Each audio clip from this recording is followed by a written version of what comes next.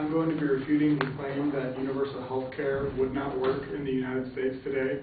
And in the previous claim of fact speech, the advocate, my opponent, again, had um, stated that universal health care would not work in the United States. And he supports this, his claim by using two main secondary points.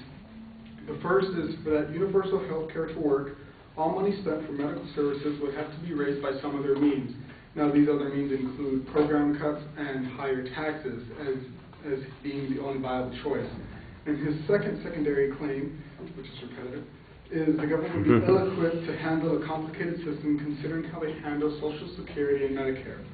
Now, getting back to his uh, first secondary claim, which was that the only viable option to fund healthcare would be raise taxes or cut programs, which is really done according to him. And my response to that is that the advocate really gives no mention of the programs that have been cut or will be cut, you know, to fund healthcare. He also does not mention whether the state or federal taxes would be, need to be increased. And these pieces of evidence are really hard to respond to because they're so vague. They really don't give a precise meaning. And the advocate's reasoning dictates that taxes or program cuts are the only possible ways to fund healthcare. But there have to be many alternatives. And again, the flaw with this is the claim that he assumes that these are the only two choices out there, that nothing else can be done. Now, my counterclaim is that according to Donald W. Light, who writes for PubMed Central, is that alternative ways of funding healthcare are one, you can you may have public sector like cities and private corporations pay a reasonable amount for government insurance, which would fund which would help fund the universal program by paying into it. Now, if the government starts to allow insurance, it forces competition between insurance companies which in competition drives lower prices. It's economics. So you would get low price, you would get lower prices, which everyone could basically afford. Now, according to the Washington Post, the $634 billion reserve fund that Obama proposes would also help lower insurance prices because it will start to provide insurance to those who really can't afford it. And it'll also start to drive down medical bills, which I think we all know are hard to pay enough. Now, both these claims are, are able to fund universal health care just because they directly inject money into the system, which therefore funds it. And, you know, forcing competition between insurance companies and basically the government would give the uninsured a fighting chance into whether, you know, they're just staying home or when they're forced to go to the emergency rooms because they're so critically ill, they have nowhere else to go. And emergency rooms are more expensive and it's basically funded through us anyway, so you're basically paying for it.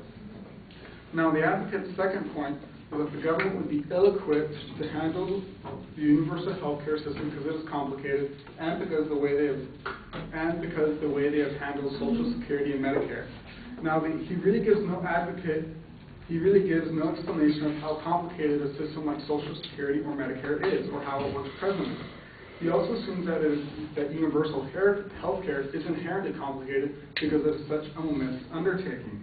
Now, the advocate has no evidence the way the government has handled or mishandled the healthcare and Medi- the Social Security and Medicare system, and these flaws flaws undermine the claim simply because there is no evidence of mistreatment of Social Security or Medicare.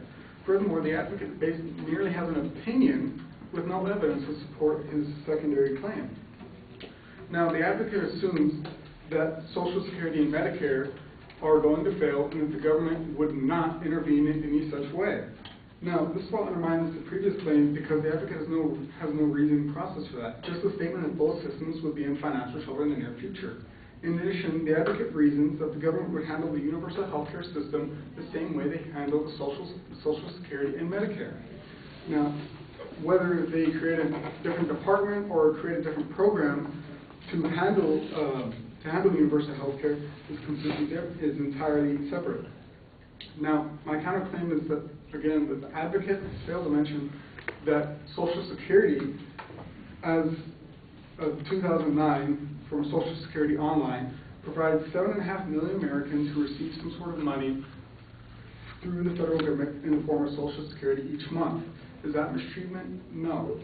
The advocate also fails to mention that Medicare, since 1960, has been providing uh, medical coverage for Americans 65 and older without financially failing. Now, is that what you should, no. The advocate has no evidence or reasoning to prove that Medicare, that universal health care would not work in the United States.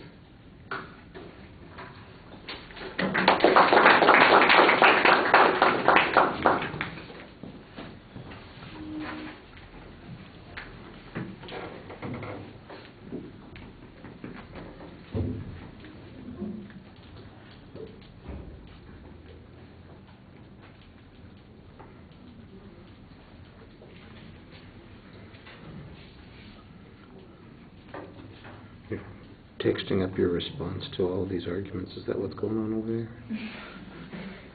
Look at that click, click, click, click, click, in my ear, oh my goodness. Could be, yeah, you got a million things that you're stapling. That's a possibility too. Or you're just nervousness, clicking on the staple. Okay. It's like grinding my teeth. Oh, man.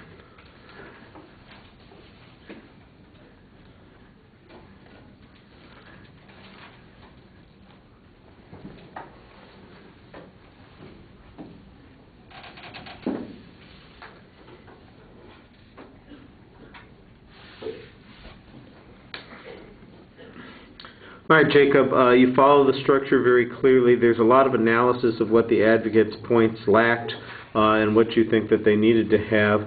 I didn't really get a lot of competing argument on those points, and I think that that's one of the things that's missing on the first point is a little bit more information about how um, these alternatives, for instance, would work. I did think that was the strongest part of that first point, the whole discussion that there are only, you know, the advocate says there are only two ways that we can do this, but there are alternatives, and you talk about what the alternatives are. You have some reason to believe that they might be effective, so I thought that that worked pretty well. On the second point, though, uh, I thought that you had the right kinds of challenges, but your evidence on that point is a lot uh, weaker. The stuff about Social Security and Medicare is uh, very general and vague in nature. and uh, I know that the advocate seems to presuppose that there are big flaws there. Uh, they're making a, a kind of a presupposition without providing any evidence on those points. Uh, you barely do a little bit better by providing some evidence. If, if we had some indication that Social Security was well managed and that it is, in fact, uh, economically viable, and same thing with Medicare, I think your argument would be a lot more compelling there. Um, but your analysis about the lack of evidence from the advocate's point of view was, I thought, pretty uh, effective in, in kind of responding to the legitimacy of their claims. All right, thank you.